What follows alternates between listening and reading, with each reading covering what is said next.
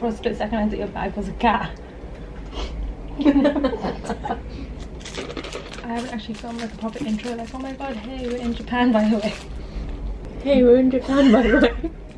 Okay, so hey guys, we're in Japan, as Samia has told you. it's also her birthday. Happy birthday! and that's why we're here. That sounded random. Like we're here because it's my birthday. Like that's the standard. When it's my birthday, we get teleported to Tokyo.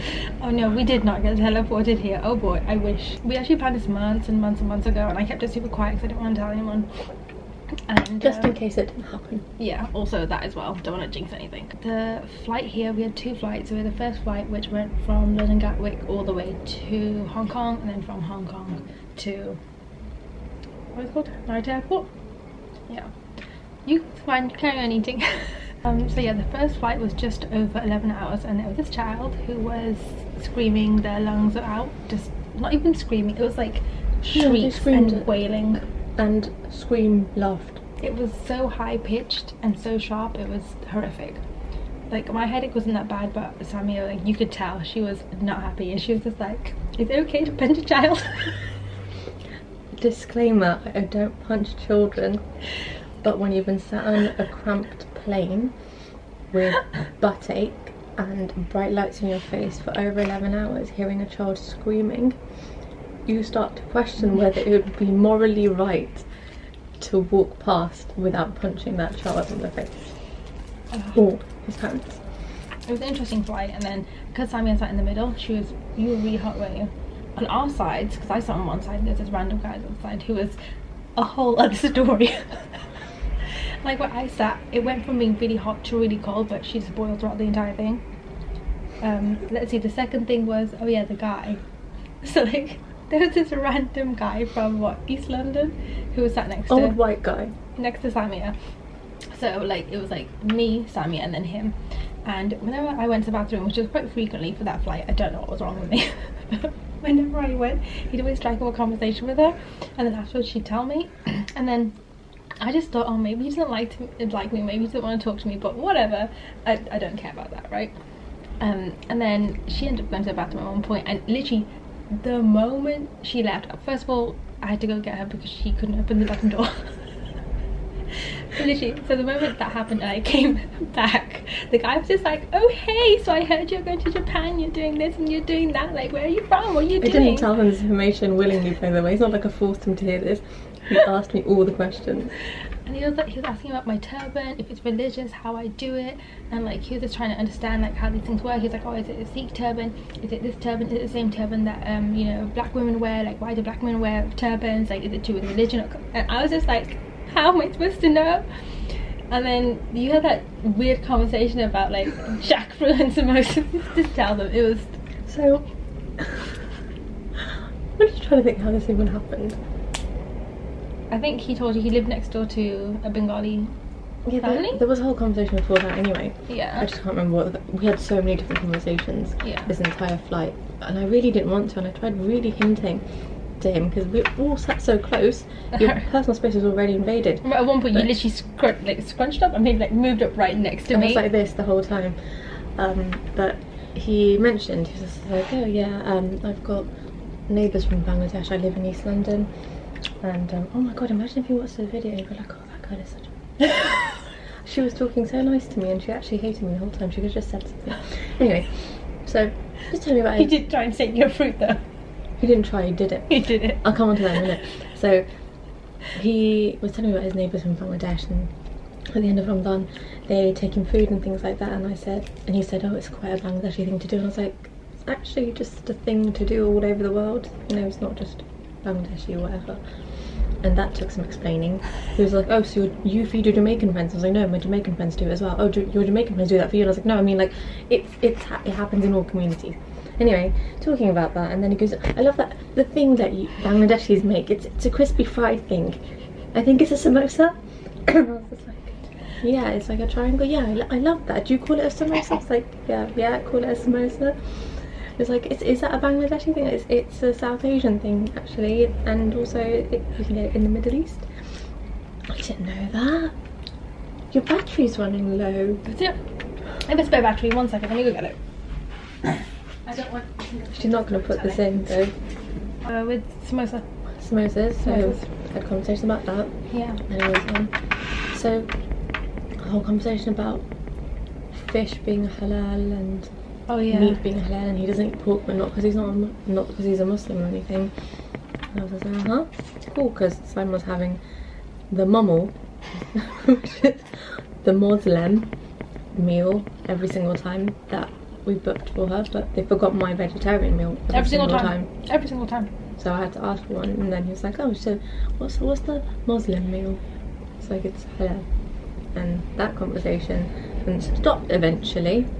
Thank goodness, because Saima came back, and I turned back to her, and then I wasn't feeling great. I was feeling really sick and had a pounding headache by this point. Like, I thought I was going to die, if I'm honest. Like I really didn't know what I was going to do. I didn't want to tell you this because I was just like, "We need to get to Tokyo." you literally looked like you were dying though. I could tell. And I was like, you know what? I don't know what to say to make you feel better because I know there's nothing I can do right now besides remember that child. I can't do that. I thought I was dying, and I just thought this is the worst thing ever. Um, so they were bringing the food, and I thought, oh, I don't know if I can eat this. But luckily, because I'm vegetarian, apparently all I get is bread and yogurt and some fruit. So I've had the bread and the butter and jam, and then I had a little bit of yogurt, and I was leaving the fruit. And then I'm talking to Saima, or like holding my head. And then this guy, you can hear me clearly saying to Saima, I'm dying. Oh my god, I feel so ill. Turns and goes, Are you, you can eat your fruit? I went, Oh no, I'm feeling quite peaky. I don't think about, oh, oh, can I have it then? Is that right? He was like, oh, you should have it. It's really nice. and then he asked you for it, and then you're just like, yeah. like, yeah, sure. And then he just goes, oh great, oh that's perfect, thank you so much. And you were taking it. And I said, well, I'd rather someone, yeah, instead of throwing it out. And I was like, yeah, okay. And then as he's eating, he turns to me and goes, no jackfruit in this one, though, is there? Oh god. And I just went, well, yeah, because it's not really a thing, is it? It's a Bangladeshi, Malaysian, and Thai thing. He goes, oh yeah, and it's really expensive. And I was like, yeah.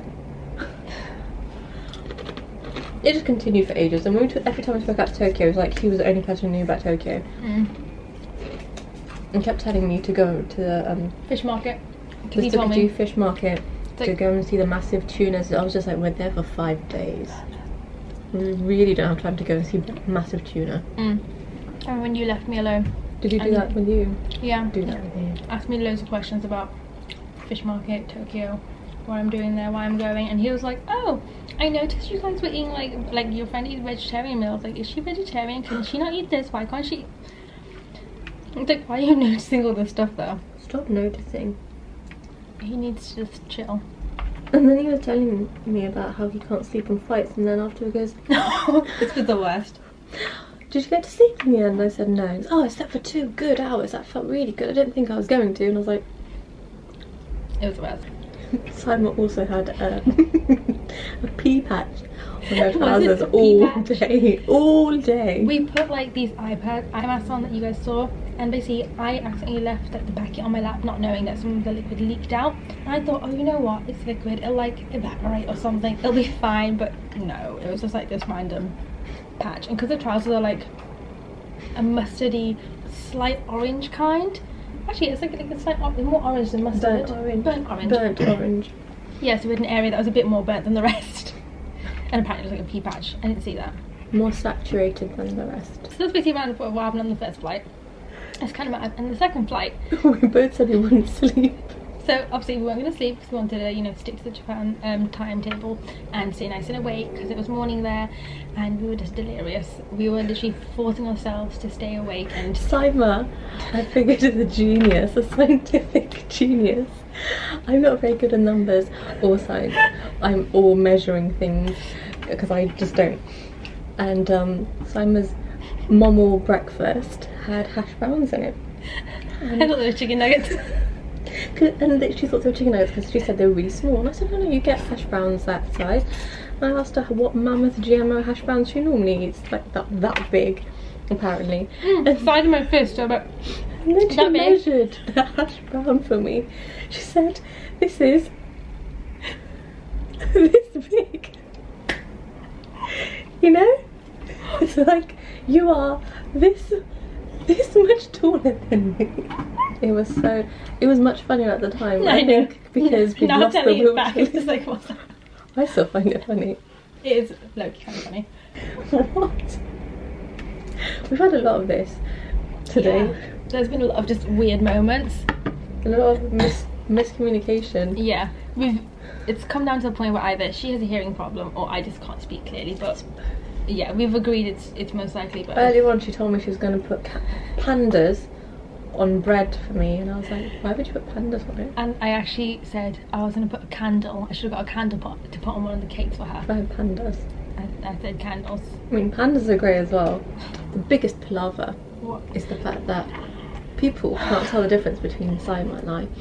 Even the booking agent for this trip and you, the airline. do you want to tell them the full story or just a revised version of this story? Long story short, I have a, a middle name. It's on my passport. I didn't put it on the booking because it didn't ask me for it, and people don't call me by my middle name, so I didn't put it in. And then it turns out that actually my middle name was given to Saima after I spent three hours on the phone between agent and airline Yeah, trying to sort out the middle name. because they said I could be denied boarding. And I was just like, Mm-hmm. like that's a lot of money actually. Um, so then I got really angry. There were no scenes caused. I promised you, no scenes. Just anger in her face. Just, I understand, but clearly I can't do anything about this. And the woman was very patient and she was just like, I understand, I'm not asking you to do anything. So I had to run to another desk, get Saima to queue in check-in to hold space for us. And we already queued in for like a good two hours. We Yeah, we were at the the first. front. And then we went, this whole nonsense happened. We had to re-queue. And every person that saw our passports were like, wait, do you have the same name? No, our surnames are the same. Like the woman who was sorting it out, she was just like, oh, but like there's gonna be a problem because you both have the same name. And we were like, what? Like our names are very similar, but if you're like, if your job is to work like an airport at an airport desk and you're typing in like all the passport details and all this important information, surely you'll be able to tell the difference between both of our names. You pay attention to detail. I know. And she was just like- pronounced completely differently. She's like, oh, it's the same name. No, And then my middle name was given to you. I know. I said it as a joke. I was like, oh, how funny would it be like if they put your middle name on mine, and lo and behold, literally 30 seconds later, that happened. And I was just like, oh, so I boy. told Saima not to say things like that anymore because Yeah. it was happening. I'm not allowed to. And then I got stuff my liquids, and then I got told to go through the full body scanner. What else happened? That's not that much much of a big deal. Body scanner. I had that I, before. why am I constantly getting stopped? it's now ten past twelve. The ten past twelve. Oh. Yeah, we really should be asleep. Yes, I don't know what's wrong with us, but we. We're gonna ruin ourselves if we don't sleep. I know. We've been travelling for over 24 hours non-stop. That's disgusting. Yeah, finish all my food. Did you understand what she just said? To me, it sounded like the the facial, my wood. I finished all my wood. Nice. That's so cute. what? It's cute. Okay. Do you want to cut them? What's wrong with you? What the heck? You look like you're still up. I'm just confused. this is okay. I think the pastry tastes a lot like um, an eclair and I don't like eclairs. I don't like them. It is weird. I mean, if they're around me, I will eat them, but I won't go out of my way to buy an eclair. The pastry tastes weird. I like the filling though. Choux pastry is the best pastry. Not like shoe on your foot pastry, like shoe, C H O U X. Choux pastry. How scandalous! She put her foot on the table I didn't, we're put it, eating. I didn't put it on the table. I levitated it above. I don't know what's her name. I've seen I think one or two of their videos. Whenever you, you know when you drink inside a cup or a glass or whatever, do you ever look at your reflection in the glass? Because you usually look so stupid. What? like drink and look at your reflection. There's not enough light. So yeah. Ba-bum. Yay. I just want a lot better now. it's the same. you just say? I, you know, my vote, my voice, my voice broke. Okay. But you also said something. It's still that sort of Shoe pastry. shoe pastry. shoe pastry. pastry? The actual Pastry.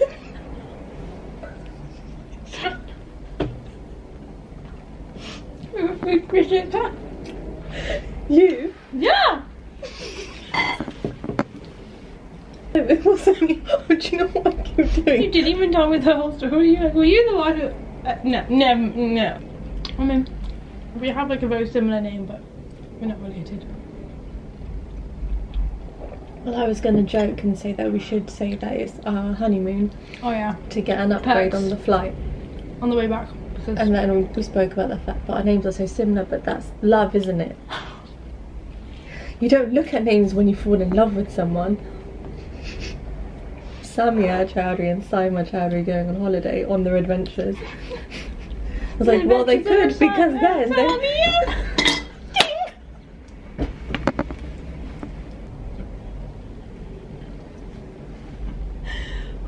We need to sleep. We're going crazy. Oh, wow, it's so picky. I, I can only throw up if I have a bed. I'm trying not to laugh 'cause I've eaten so much food. If I laugh anymore, it'll just exercise all of that strange muscle. What you'll throw up. all that. You have bed. so- You have bed. Do you know what I should have done?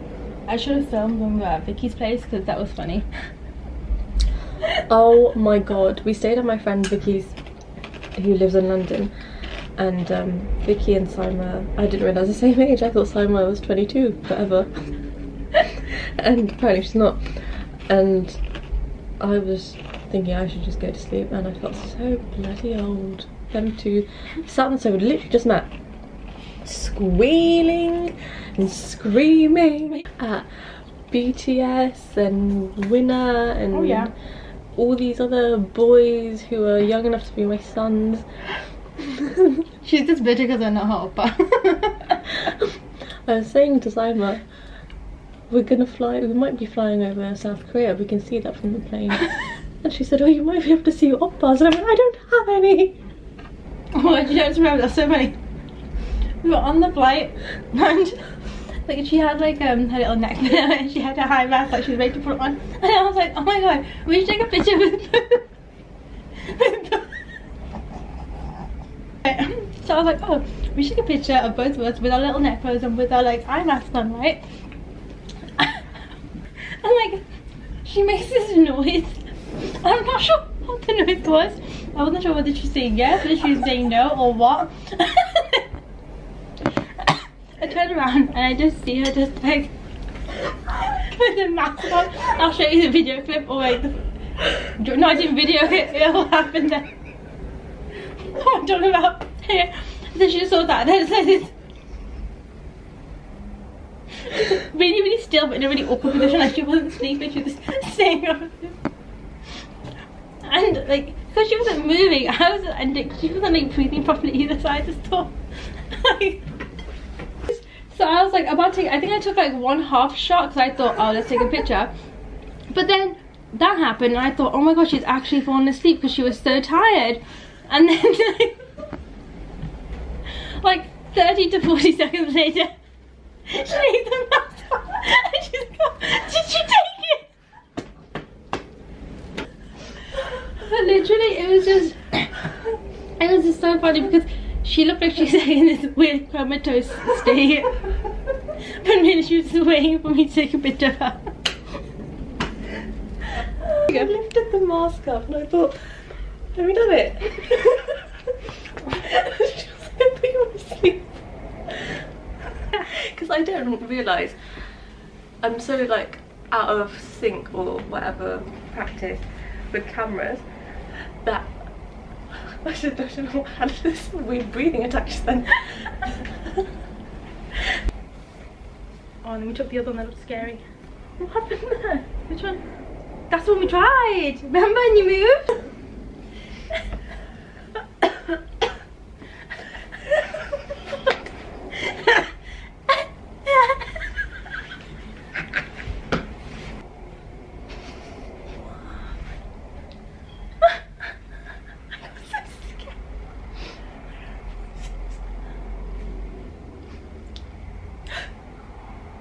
Stop! The way you look as if someone in the window of like that door, I, I was just like, oh my god. This happened last time, like, was it you or me who heard the sound, heard the sound outside? What was the first sound? Yeah, we heard the sound and then Sammy went up to go investigate and I was just like, what the heck?